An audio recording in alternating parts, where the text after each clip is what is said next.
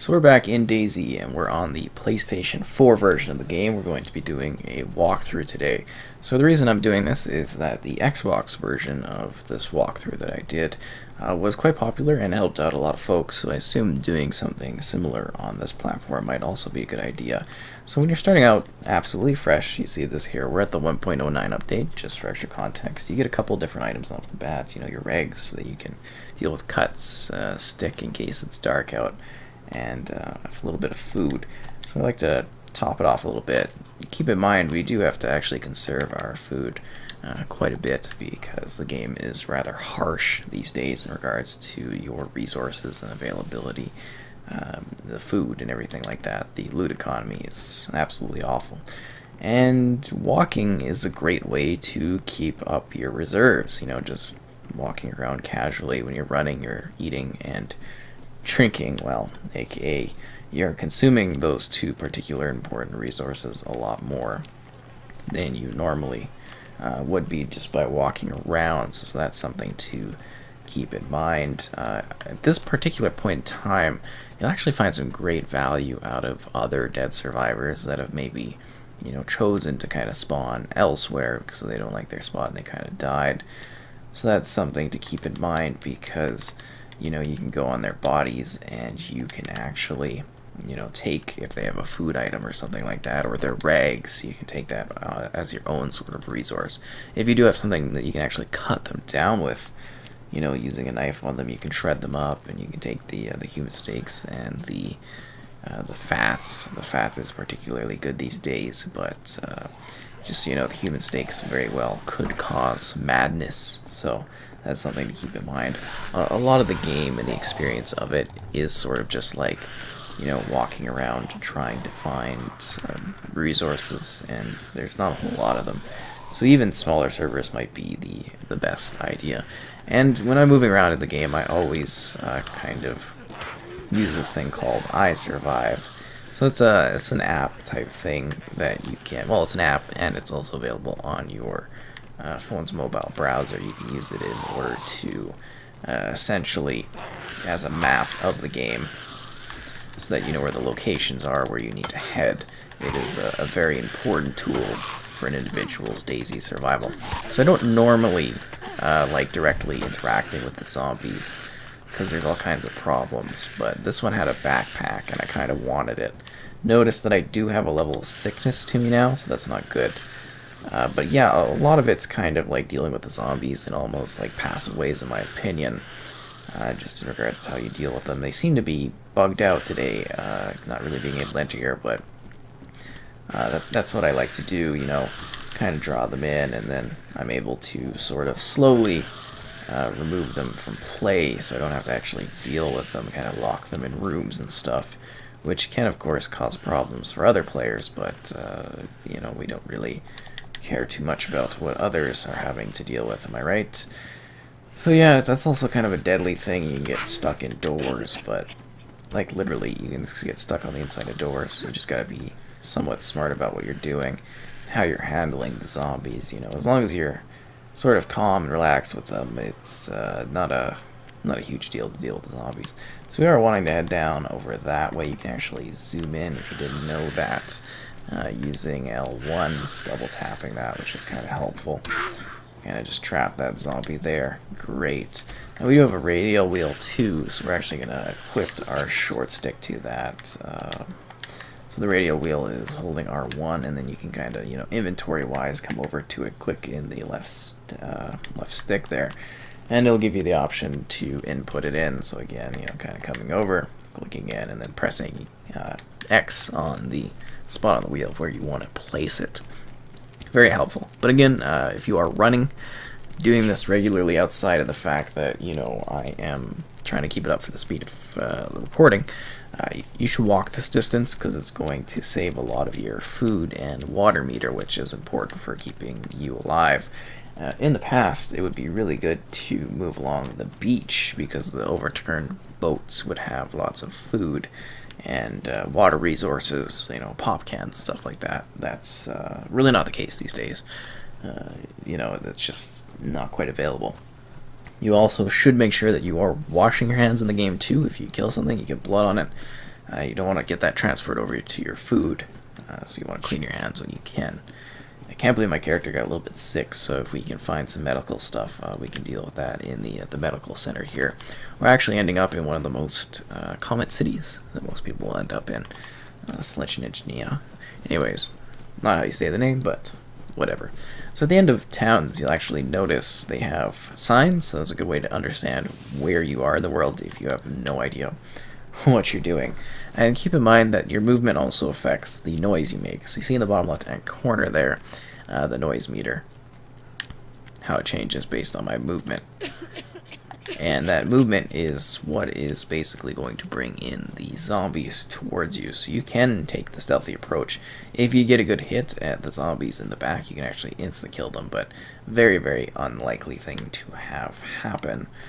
And as you can see, loot these days is just uh, abysmal. It used to be uh, a lot better, but they seem to have turned this into a, a very, very tedious experience that continues to get harder with uh, each iteration and big update. So we'll have to see how that affects things over time. It just seems like the loot economy is terrible with nothing spawning anymore, from what I've seen, so we'll have to be a little bit smarter in regards to our looting these days in order to find things that others have, you know, kind of left behind.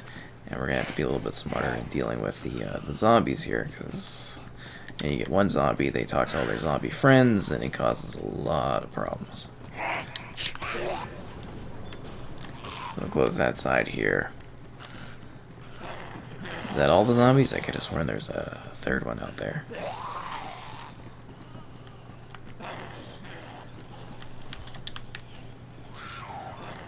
There we go.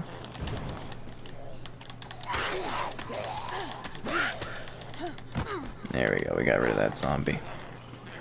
Good, so those ones are locked away, we don't have to deal with them right now, which is excellent. If we could find a melee weapon, that would be ideal too. We also have to keep in mind that our, you know, our food and our water is depleting a little bit. If you can keep it in the green, you know, that's fantastic. Oh, it looks like our apple was actually ruined, so we can't use that anymore. Gonna kind of throw it away as a distraction, so it's got the red marker there. That actually means it's been uh, entirely destroyed. So we got a lot of zombies chasing us, which is uh, not a good thing. And usually there'd be other players too, but I don't think there's too many online right now. And even then, if you find players, uh, and if they got guns most of the time, they don't even have, like, uh, you know, ammo and stuff to shoot. Wow, that is uh, a lot of dead players there. Wonder if there's actually some good resources there, but we don't really know. Because we are trying to trap a whole horde of zombies in here. Because we don't want to deal with them. And nothing too good. So we got everybody in here, it's all good, the whole party's chilling, and now they're kind of all locked out. Except for our one pal there, which we can dispose of using the stick. Some people find it easier to go into the first person in order to aim for the head, because it kills a little bit faster. Again, head shots, definitely a little bit better. So we actually got a food item from there, and a fancy vest, so that's kind of cool. Although for the food item, we're going to actually have to have something to kind of crack it open with, so it's not necessarily the most helpful of food items to collect, but, you know, it, it is a food item all the same. I think that's really helpful, so we could do, uh, yeah, I don't know, maybe get like a pointy stick or something like that and kind of break it down. Which you gotta be careful, because if you break down a bush, it might actually cut your hands. So we're gonna look a little bit more until we're uh, desperate on the uh, the food and everything like that meter. So these buildings, uh, there's the one here, sometimes has uh, oh, like a weapon or something like that. Maybe you'll find a gun. So it's rare, but you know it happens in these types of spots. And I like to come back here because these these buildings don't usually have something helpful, but sometimes you'll find like a, a, weapon or something here, as in like a blunt object uh, that could be very helpful in your survival experience on, on DayZ. Hmm. Yeah, so we got the, the short stick here. It's not really going to help us. We kind of need the uh, the long stick, which I think you get from a particular tree. Oh, there's also maps in the game too. You can kind of see where you are in the actual big map sort of helpful. See the outlines. That's where people spawn is all along the coastline. And then you move inwards if you're lucky. But it's something you gotta deal with. It's a real problem trying to uh, get supplies because it's it's hard to make your way out to the uh, the big area, especially with the lack of resources these days and the fact that things can get so damaged. Uh, it's not an easy task. Even making it this whole time is going to be very hard because your like your health bar and your blood, they, take a long time to build back up, and you gotta have good food and water meters in order for that to happen. That's definitely something to keep in mind. Hmm, let's get into this house. So sometimes these houses have like knives on the counters, which is not the case today, or weapons or tools. So it's kind of a bust. As you can see, the uh, the effects of the modern economy in the game is just absolutely brutal for resource collection. I don't know what they were thinking. you can also hop over things, if you didn't know that, and climb stuff too. So these buildings also very good uh, for finding resources. So we found ourselves a knife, obviously a bit of an upgrade, and something we can actually use to crack open our, you know, can of beans here. Ideally, you want to use a can opener if you can, because this does cause a little bit of damage sometimes to the uh, particular food goods that we have. And when you're eating stuff, keep in mind that you don't necessarily need to fill up your food bar. That could actually make you sick. Your stomach will uh, the food in your stomach will expand over time because the stomachs have a bit of a volumetric style to them. So that's something to uh, keep in mind in that regard. Okay. Great. So you can actually increase your slots too, depending on the type of uh, items you have available to you. Just kind of neat. So we're we're not off to a, a bad start with the survival character here. You know, we're playing it semi-smart. We're collecting resources. Uh, we're finding decent enough loot which is good. Uh, we're going to try to draw this guy in here. The game's screen tears a lot more now on this platform. It's crazy. Just absolutely crazy. Uh, yeah, so I don't think we're off to a horrible start here. You know, we've got all right meters kind of going. We're surviving. We're not too damaged. We have a sickness, which I don't like, but not the end of the world. You know, looking around. No, nothing there. So we are going to head over to actually the medic center here. I just want to keep looking at these buildings because again, any sort of extra little food thing or something like that is, is almost crucial in this day and age in the game if you want to, you know, be successful and live long and, you know, prosper and all that. Hmm. Not the best situation, but there's the uh, the health building right there. Sounds like flies. Flies always mean dead bodies. It's typically a bad sign. so keep that in mind if you're hearing that sort of thing during like airfields or during certain battle situations. Uh, definitely means people have been perishing. And the more flies, the uh, the more bodies.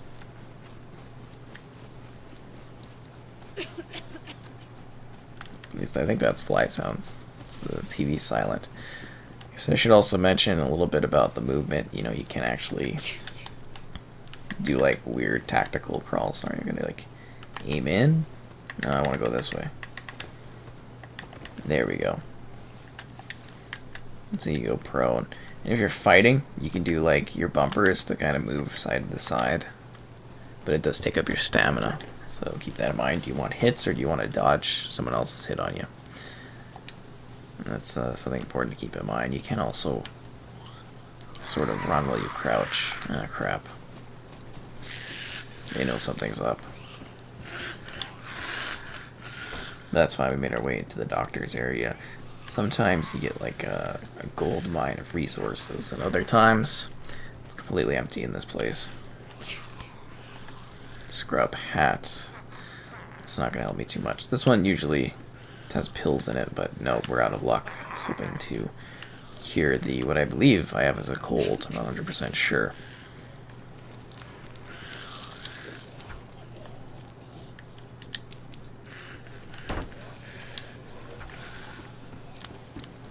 So yeah, we're going to actually be heading out of this town here. That guy's got a better bag, so that would actually be to get.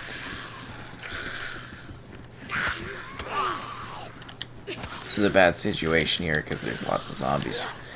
Uh, so we're actually going to try to be tactical here and go into this area. watching our stamina, watching our health too, because, you know, they both go down faster than you think. Zombies are also quite aggressive uh, these days, and they can really hurt up fast, so you gotta be careful. You don't want to get overwhelmed. So we're going to another area where we can hopefully trap a bunch of them. Again, having to watch our stamina bar because it goes down, you know, quickly, and then you gotta wait till it recharges a little bit. And those zombies, they they catch up to you fast.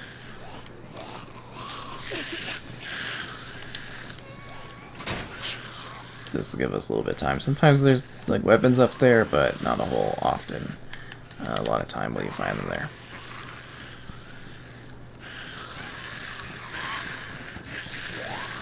Really wanted that bag too. Okay, so that dealt with a little bit more of the zombies, but we still got a few on us. Seems like there hasn't been someone in this town for a little bit of time because usually the uh, the zombie numbers wouldn't be so uh, dense because we've dealt with a lot of them. We're gonna have to be careful too because it looks like it's starting to rain, which is obviously uh, another problem. Sometimes you find items in here, and not too often, not anything too great. Okay, folding butt stock. I feel like somebody dropped that there. There we go, we've uh, dealt with our zombie problems. They're all walked away. And we can continue going on on our day, and hopefully another poor soul doesn't uh, come this way and uh, accidentally go into one of those buildings, because they are going to be screwed. So one of the best places to actually find food these days, or at least something you can make food from, is the greenhouses. And I say best as in, you know, it's hard to find food. It's e it's rare to even find food off of the zombies, which is a lucky coincidence as well. But sometimes the greenhouses uh, have food. They're kind of they replace the boats almost to a degree. The, the boats along the the shore that used to have lots of you know food with them, and then they also got nerfed a little bit. So just keep that in mind. So we also are losing a lot of our food meter, so we're going to try to top that off here. Noticing how even though, you know, we got food, we don't have necessarily a lot of it, and it's going to burn through fast, so we have to be careful uh, in getting to our next spot, uh, trying to make it up to the next town down there, which I'm not sure how well we'll do in that regard. There is smoke in the air too, so that's not, not really a common sight that you'll see. That means somebody was shooting the gas canisters or hitting them, causing explosions. So it's something you should take with a little bit of caution. Normally, I don't suggest taking the main road anywhere. It's uh, very visible. But this is a game where it's like people are dying a lot faster because of lack of resources. So maybe going down the main road is smart. If not, the beach is a lot quieter. You can sneak along there and see what you can come across. Or you could try your luck in the open field. All are valid choices. Okay. Let's take a look and see what happened here. It looks like some people were ending themselves uh, using the propane tanks. Now it seems like he's glitched there. I don't know. Let's see if we can take his plum. Is that still good? Yeah, okay, the plum is still good. Great. So actually get that from that survivor and I know it sounds weird, but you know, survivors are actually a really great source of food nowadays. People just like end it, and uh, you can just take the the food off their bodies. It's really been the biggest source of food resources I've been able to gather uh, as of this update, even like the last update, really.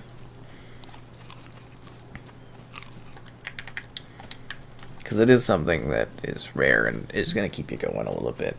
I don't suggest, you know, internal trips in this game until you've really actually stocked up on quite a bit of food, like a lot of it, um, because it's going to just burn out. So we should also be careful about the rain. So the rain's coming down, it's cooling our character that makes us sicker and could kill us, but you know, we're just kind of moving along for the sake of this experience and showcasing this.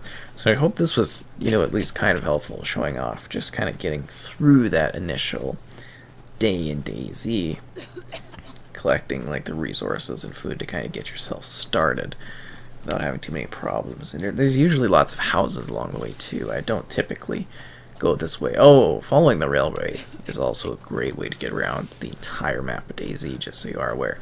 But I don't normally do this, but there's a house over here. It might be a little less looted than other places, and it might be a place to get resources. So that's generally just a sort of walkthrough of a typical day in DayZ as you try to survive in the modern era. You need to be smart about your food, you need to be careful about uh, your looting, and careful of others too, because I don't really, I didn't really have much of an opportunity to show that off because there weren't other people around, and they can be just as dangerous, if not more so, than zombies.